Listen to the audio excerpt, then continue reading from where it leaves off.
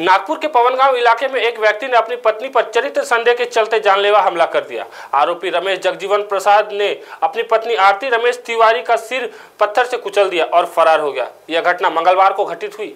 आरती को लहुलवान अवस्था में मेव अस्पताल ले जाया गया, जहाँ उसकी हालत नाजुक बताई जा रही है। पुलिस ने हत्या के प्रयास का मामला दर्ज कर रमेश की तलाश शुरू कर दी है। बताया जा रहा कि आरती और रमेश के बीच अक्सर विवाद होते थे और हाल ही में दोनों के बीच सुलह के बाद आरती वापस आई थी। ही घटना आहे दिनांक तेवीस सात चोवीस चे सकाळी दहा ते बाराच्या दरम्यानची आहे। यामध्ये आरोपी रमेश प्रसाद, जगजीवन जगजीवन प्रसाद तिवारी उमर चाळीस चाळीस वर्ष, हा भवानी, भवन भगवान वाट लेआउट, भवानी नगर पारडी येथे राहतो. जखमी आहे त्याची पत्नी सौ आरती रमेश प्रसाद तिवारी वय चौतीस वर्ष. त्यांना दोन मुलं आहे एक मुलगा आणि मुलगी. या दोघांमध्ये वैवाहिक डिस्प्यूट होते. तिच्या नवऱ्याला बायकोवर शक होता आणि त्या त्यामुळे पारडी पोलिसांना बऱ्याच वेळा तक्रारी झालेल्या आहेत त्यांच्या. एन सी दाखल होत्या आणि पोलीस स्टेशनचेही ते सर्वजण त्यांना ओळखत होते.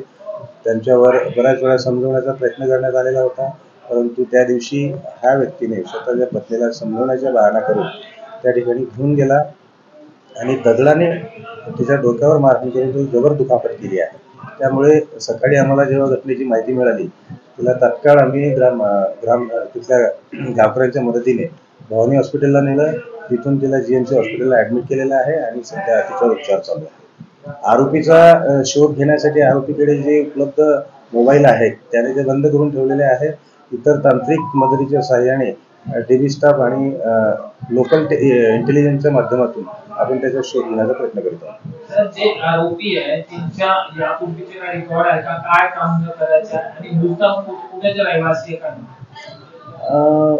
आरोपी हा पूजापाठ करणारा आहे. तो विविध पूजा प्रकारे करतो पारडीमध्ये राहणारा आहे. आणि पत्नी ही मूळचे राहणारे हे मध्य प्रदेश रिवा येथील आहे. महाराष्ट्र टीव्ही ट्वेंटी फोर के लिए ब्यूरो रिपोर्ट नागपुर